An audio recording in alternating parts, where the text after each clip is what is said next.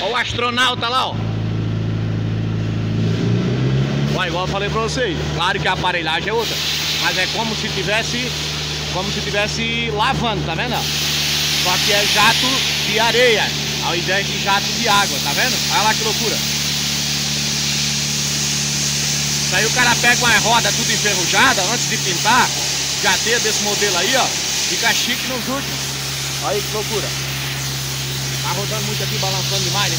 Ó, as pessoas via poeira aqui, ó. Já vão ter que comer.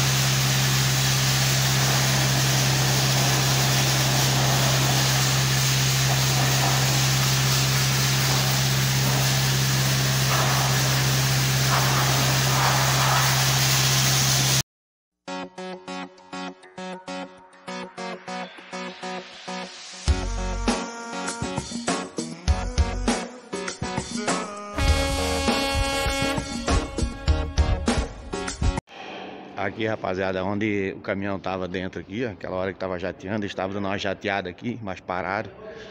Porque diz que a peça veio com defeito. Lá onde fizeram, eles fizeram meia expressa, mandaram pra cá e veio com defeito. Na hora de jatear, eles viram. Aí o cara tá fazendo mais uma soldinha, soldando mais uns negócios ali. E aquele negócio do, do controle de igualdade, sabe? Ó, por exemplo, aqui, ó, tá jateando, tá tirando, fazendo aquela coisa toda. E aí, por isso é que não ficou pronto. Eu tava até com a esperançazinha que carregasse hoje ainda. Só que não carrega. Hoje, no caso, terça-feira, tá? Eu tô filmando aqui. Pra vocês assistirem o vídeo ontem. Essa aqui é a continuação, né? Porque aquela hora eu vim aqui dentro e já tava jateando. Eu pensei, opa, tá jateando? Pra pintar é rápido pra secar também. Que ele, eu achei que eles iam mudar daqui pra lá, mas não vão. Eles vão pintar aqui mesmo. Nesse lugar aqui, ó. Vamos pintar ele aqui. Coloca mais do lado aí, pinta. Aí o guincho entra, coloca ela pro lado, eu entro aqui e fizemos o serviço ao contrário do que fizemos antes, né? Foi tirado e aí nós colocamos em cima. Mas é pra acabar, né, rapaz? Mais um dia, né? É, fiquei esperando pra carregar isso daqui porque vai dar 3 mil quilos, 3.500 quilos, carga boa, né? Passa três cintinhas, quatro cintinhas em cima, que é perigoso ela correr, né? Assim, ela vai em cima, daquele jeito ali, ela vai em cima do caminhão. Aí a gente tem que amarrar, porque numa freada ela pode correr pra frente ou pra trás, né? E aí a cinta segura, mas a partir do momento que começa a correr, né, na cacetada que vai, pode rasgar, romper as cintas. Passa por cima da gabine, pode tombar. Perigo maior é deitar, sair, correr. Ó, o cara veio com café, vou tomar café. Eu tava falando, eu tava na esperançazinha que ficasse pronto hoje. a esperança é última que morre. Mas já era. Aí dois dias esperando. Só que o frete não é ruim, fretezinho bom e, e a carga é leve, né? Vai com os eixos tudo erguido, paga pouco pedágio, paga só. Não paga o, o pedágio do truque, nem do primeiro eixo da carreta. Futuramente aí, se ficar com ela ou pegar um side, não sei o que eu vou fazer. Dá um jeito de colocar mais um erguidor de eixo, ajuda bastante. Uma viagem igual essa daqui, 600 reais para vir, mais 600 e tantos para voltar, dá 200 e alguma coisa por eixo de pedágio, quase 300 por eixo. Então, colocar um erguidor ali já ajuda bastante. Vamos ver, vamos aguardar para amanhã, né? Não tem o que fazer. Rapaz, olha o motorzinho do... Isso aqui funciona como se fosse um gerador, né? Eu não entendo muito disso aqui, eu entendo disso aqui, ó. Eu fiquei de cara. Motor MWM turbinado, tá? Só faltou um intercooler. meio dessa poeira aí. Ah, ficou show, né? Tá aberto pra circular um arzinho que tava querendo pegar fogo. Trabalhando direto, parado aí. Tem que trabalhar com a tampa fechada. Por causa da poeira que joga tudo lá pra dentro, né? Ele suga muito. Eu já soprei o filtro aí, tá? Agora imagina a refrigeração que tem isso aí, né, cara? Porque o caminhão ou um carro, vamos supor qualquer coisa, Agora ser 400, tem uns tão melhor que você vai já ter os trens escorrega assim. é Bota dentro demais. mai- maior, mais forte que isso aqui. Tem uns elétricos que é três jatistas dentro só. Tem um que se você arrebentar o jato fica no ar. Vá. Não, mas eu me refiro assim, ó, a, a refrigeração desse motor parado aí, cara. Porque o carro, tudo quanto é coisa, ele vai pegando o vento da rua, né? Que ajuda a circular. E isso aí é só pela hélice mesmo. Só, não tem outra coisa.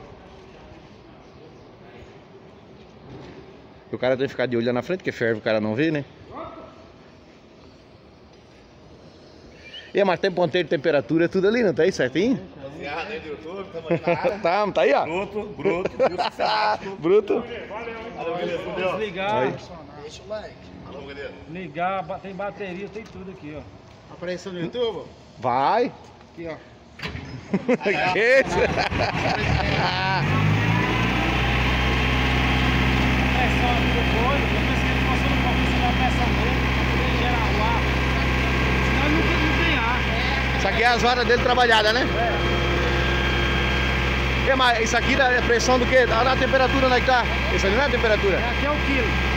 Tem a geração do quilo, depois ele vai pra 6 quilos. Quando, ó, ó. Ó o ponteiro. Olha só o nome do canal lá. Olha só o nome do canal. Rapaz, e hoje já é amanhã. e hoje já é amanhã. Rapaziada, tudo apavorando aí, cada um fazendo uma coisa, um puxa mangueira, outro estica outra coisa. E a carga tá pronta ali, ó. Vai esperar alguém chegar. Eu acho que o guincho primeiro vai tirar, vai entrar sozinho, vai tirar aquela peça grande. Pra daí ele encostar lá no canto e eu botar do lado de cá, sei lá como é que vão fazer. Mas estamos só aguardando, eu acho que o guincho chegar. Chovendo. Dormi aí, fui tranquilo, rapaz. Dormi aí, é show de bola. Tranquilo. Não tem nada não. Aquele meu paralama pegou em cima lá, rapaz. Pegou em cima na manobra da carreta lá. Quebrou os suportes, arrancou fora. Ontem eu passei um bocado de borracha nele ali para depois ajeitar melhor. Porque senão eu vou perder o paralama com a placa no pela terceira vez. Daí não, né? Ah? Daí não. Rapaz, ontem eu tava falando sobre o jateamento, que ali jateia com areia. O rapaz tava varrendo ali, ó. Que era com areia, né? Eu cheguei a pegar na mão aquele pó, aquele material diferente ali, ó. Estão juntando ali de novo porque joga fora, né? Vocês viram o poeirão ontem, não era nada mais do que essa areia voando. Só que lá é ferro, material de ferro. Esse aqui, ó, é inox. Isso aqui é mesa para embalsamar, formol, essa coisa toda.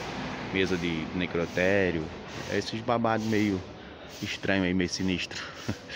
E aí ali, esse aqui é como é inox, não pode usar aquela areia lá. Porque daí marca muito. Judia come muito, gasta muito as peças, marca. Aí eles usam isso aqui, ó. Isso aqui parece açúcar. Chega a brilhar no dedo assim, parece açúcar. Isso aqui é vidro moído, vidro pó, pozinho de vidro. Que aí o vidro não, não, não causa dano na peça quando é de inox. Esse aí vão jatear para fazer pegar aquele brilho todo. E o vidro não deixa marcar igual a areia que come tudo. Rapaz, aí eu tô parado ali desde ontem, aguardando para carregar, a peça tá pronta, o guincho chegou agora para carregar. Aí aí o cara, mas tem que ir lá pesar o caminhão, digo, sim, mas como assim? Outro cara que me ligou que eu nunca vi. Não, tem que tirar a tara do caminhão, tem que pesar para poder emitir a nota fiscal. Eu digo, se é obrigado aí, vamos ir, né?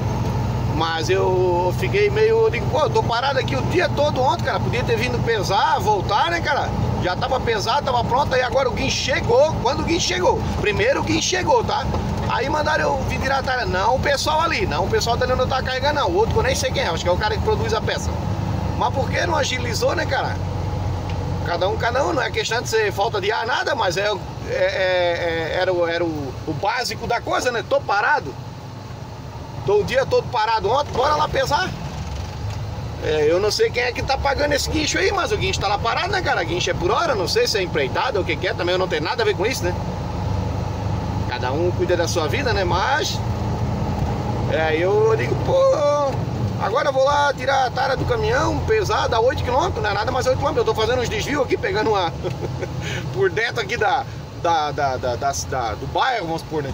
Aí tem menos movimento, porque se pegar pro outro lado da BR lá, daí nós temos lascado, movimento agora de manhã cedo.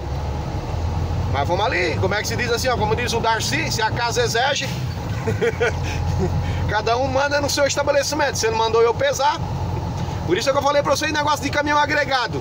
A partir do momento que tu agrega, o caminhão é teu, tu deixa de ser dono. Tu passa a ser funcionário. Sendo dono de caminhão, funcionário. E é o que eu tô fazendo aqui agora. Eu, eu tô carregando, tô prestando um serviço pra, pra, pra empresa. Eu tenho que fazer o que a empresa manda. Ah, o caminhão é meu, eu faço o que eu quero, então não carrega. É complicado, essas coisas é complicado. Beleza então? Daqui a pouquinho nós pesamos voltando pra lá. Então, rapaziada, já pesamos.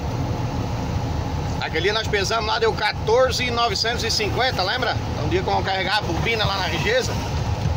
Aí outro dia ali deu 16 e dá-lhe cacetada lá, na, lá no alumínio. Só que agora eu tô com os tanques cheios, que eu troquei o tal do saldo do frete lá, tô com os tanques até a tampa aqui. E, e daí eu tô com aqueles madeirite ainda, né? Daquele do veneno em cima.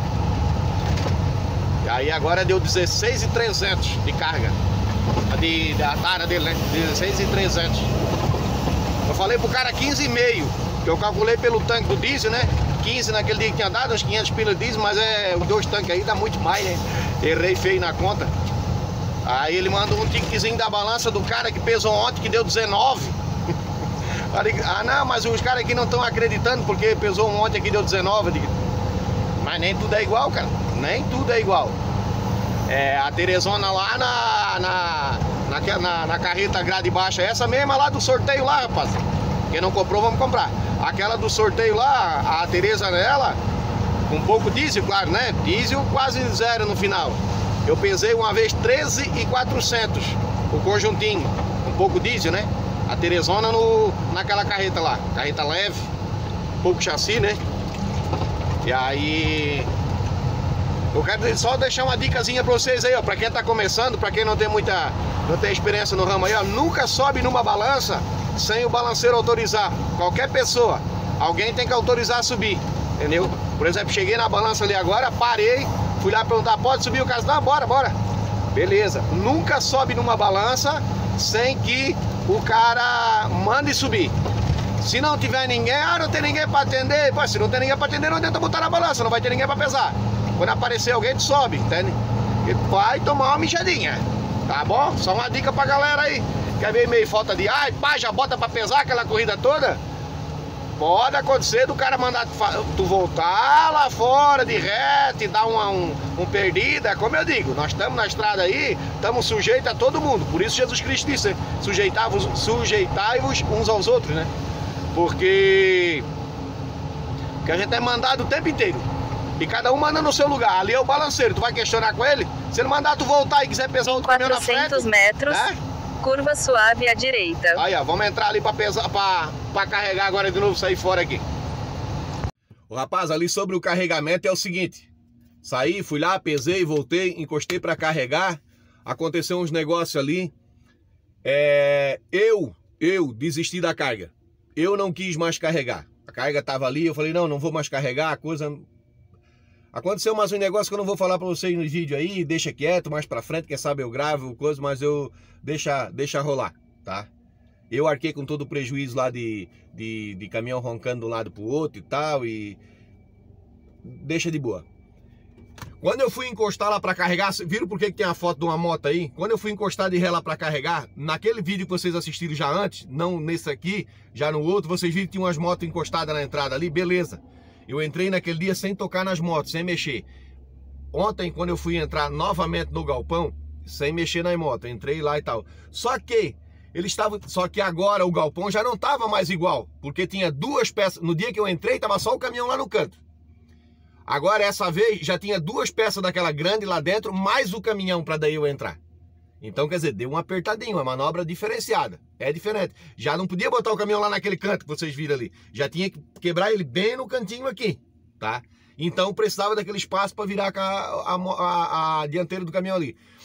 Sem eu pedir, os caras tiraram a moto ali, show de bola. O rapaz ali daquela, daquela, daquela fábrica ali, gente, não tem nenhum que eu, que eu tenha isso aqui para falar de alguém deles ali. Todos eles, cara, muito 10. Os donos ali, pá, cara, negada top. Aí é o seguinte, eles, o, o, rapaz tirou as motos, não sei se era quatro motos que tinha ali, ou cinco, daí ele, eu sei que ele tirou e deixou uma. E as outras colocou lá embaixo, tipo onde eu dormi com o caminhão. E aí eu vi o rapaz saindo por aqui, voltou e foi lá pra dentro. Beleza, ele tirou as motos, tudo, né, cara? O caminhão tava em L aqui. A carreta lá dentro, o cavalo aqui pra alinhar, em L. Eu não tava vendo, tu não consegue enxergar. Quando eu entrei, entrei cuidando, eu sabia que a moto tava ali, entrei e tal, pato, olha lá, vira aqui, encostei lá dentro. Quando eu fui sair de dentro do galpão, não, o, o caminhão em L, assim, a moto aqui, no caso, no canto do L. Não bem fechado um L, mas tava um J já quase ali. Aí ele, eu fui sair, não, bota a carreta mais pra lá, tem que ser mais lá pro canto, pro guincho trabalhar, tem que ser na posição certa. Eu fui botar o caminhão pra frente, dar aquela puxadinha só pra alinhar, levar a carreta mais pro outro canto. Bateu o canto da, da, o canto não, o perfil da carreta, tocou na moto, que ficou lá. O cara não tirou aquela lá, o cara tirou as outras e aquela ficou ali. Mas não falou nada, eu vi o cara sair, pronto, tirou a moto eu não fico contando quanto é moto tinha. Tocou, no perfil. Não bateu, tocou, porque daí empurrou e derrubou a moto. A moto, diz a moça que rachou o retrovisor. Eu vi os dois quebrados, os dois. Ele não, não chegou a cair, vidro fora nada, abaixo trincou os, dois retrovisores. Diz a moça, que fui eu que quebrei. Sabe por que, eu tô falando isso? Vocês vão entender o porquê que diz a moça. A moça sentou em cima da. Nem sentou em cima da moto, outro rapaz lá, porque o guidão tá torto, porque é entortoso. Não, show de bola. E aí eu pensei assim, ó, isso aí é pouca coisa. Eu vi que não quebrou nem um pisca, nem uma sinaleira, não quebrou nada. Eu que se isso aí custar, sei lá, 200, 300 reais, eu já vou pagar pra ela aqui agora. Pra ela nem... Pra eu nem acionar seguro, nada, dá muita mão de obra, liga pra um, BO e coisa e tal, eu já paga 200, 300 pila ali que se dane de uma vez, pronto, e, pra não se incomodar. Mas a moça disse que a moto não andava mais, que ela não tinha mais coragem de embarcar em cima da moto, porque a moto não prestava mais, a moto não andava, não tinha mais condições de andar com a moto. Eu digo, tá, mas o que que... Ah, ralou o punho. Como ela deitou, pegou o punho embaixo do chão. Mas a moto não é nova não, gente. Já, coisa velha, coisa velha, tá? Coisa velha. Aí ralou o, o, Não tô debochando da moto da, da guria, mas é, é, a minha moto e tal, só uma moto nova, uma moto cara, era, era uma, uma, uma, uma fã, uma, uma CG lá. Então, uma coisa muito cara, de carenagem, coisa nada. Uma fã, é simples trocar tudo quanto é coisa ali, cara. Eu mesmo pego, eu troco aquele punho, eu troco o guidão, eu troco o que for preciso. Não precisa tanto alvoroço. Aí caiu, pegou o punho no chão. E ralou, claro, caiu onde marcou ali. E aí não presta mais, que a moto não acelera, porque a moto não sei o quê, porque estragou o acelerador. Eu digo, moça, mas não tem estragar acelerador, tá aqui, a... não tem que estragou. Aí digo, ó, Todo mundo tem o meu contato aí. Na hora, cara, me deu um negócio ruim, cara. Me deu uma, assim, uma, uma coisa que não precisava daquilo. Caramba, eu tava pronto para dar 300 reais pra ela, para ela trocar o guidão que ela diz que tava torto, para ela trocar o, o, par de retrovisor que ela diz que eu quebrei, porque daí também do jeito que ela fez eu já não confiei mais na moça. Não foi uma conversa certa. Ela dizer que a moto não anda mais, tem cabimento um negócio desse, que ela não ia mais embarcar em cima da moto, que a moto não anda mais, que estragou o acelerador, entendeu? Que marcou o punho. Aí já me deu um negócio ruim ali, eu sou Todo mundo tem meu contato aí, ó. Tô indo embora, qualquer... e aí, tô na cidade, tô aqui ainda. Me liga aí, eu vejo qualquer coisa, leva numa loja. Mas antes disso eu já tinha dito pra ela, moça, então fala o seguinte. Liga para qualquer loja, faz um orçamento, vê o que, que estragou na tua moto, na tua moto, ó, é tanto, tanto, tanto, vê quanto que custa que eu te pago. Leva numa loja para arrumar, eu tô aqui na cidade aí, ó, leva numa loja para arrumar, fala onde é que é, que loja que você escolheu. Eu não conheço a cidade, não sei onde é que tem loja. Leva para arrumar, que aí a gente que aí eu, eu pago lá também, dou um jeito, se não tiver dinheiro, dou um jeito de arrumar. Ontem eu não arrumei dinheiro para comprar duas baterias. A gente dá uns pulos, tem alguma coisa, dá, Deus abençoa, cara. Jamais eu ia, eu ia danificar a moça, querer qualquer coisa, entende? Então, até agora não ligou. Não sei se é daquelas que vão incomodar, depois do cara estar tá em casa, fazer um orçamento para pagar 10 mil reais de uma moto, eu aciono o seguro do caminhão e deu. Nem tô ligando. Se ela me ligar, ô Sérgio, Realmente aqui foi o punho, foi não sei o que, foi isso, isso, isso, aquilo, deu tanto. Olha, não, moça, beleza, já vamos dar um jeito de fazer um pix aí, vamos dar um jeito aí, já vamos pagar. Jamais eu, eu, eu vou negar de pagar aquilo ali. Antes de ninguém me conhecer, eu não, nunca fiz isso. Nunca. Eu vou fazer agora. Então, aí eu já tinha desistido da carga, já desisti mesmo. Eu voltei para resolver o negócio da moto, mas eu já tinha tirado o caminhão de dentro, já não, já não tinha mais coisado.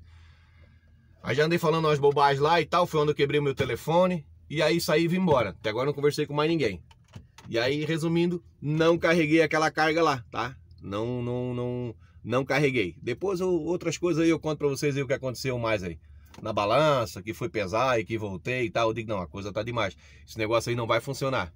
Não vai funcionar. Tem coisa que tu vê que, que quando ela tá demais, tu, tu vê que tá chegando no nível que não, não tá dando certo, tá? Transportadora, tu fala, eles levam uma semana para te responder. Tu, tu chama, tu pergunta, tu manda uma resposta, leva uma semana para te responder. É a, um descaso. Aí depois, quando eu desisti da carga, não, a gente ia pagar mil reais pra ti porque tu ficou parado. Aí eu digo, por que não fala antes então? O primeiro tem que deixar o cara chamar, endoidar e chamar e chamar, e chamar e ninguém dá resposta, ninguém te responde. Entendeu? Aí vai se juntando as coisas, eu digo aí, vou parar porque tá tudo errado. Eu tô com saldo para receber lá no Rio Grande do Sul daquela carga da bobina ainda. Tá? Ninguém dá interesse para ti, ninguém te chama, ninguém te, ninguém te responde quando tu pergunta. Como é que eu vou receber esse saldo lá depois? Como é que, sabe, ninguém dá uma satisfação? Beleza, então? Mas tem mais coisa ainda, que eu não, não falei para vocês aí. Valeu? Fiquem todos com Deus aí, com a paz do nosso Senhor Jesus Cristo. Já tá tudo certo aqui para eu carregar. Vazemos, vamos descarregar dentro do estado de Minas e vamos carregar no estado de Minas para casa de volta. Já tá tudo certo aí. Valeu, fui, tudo de bom.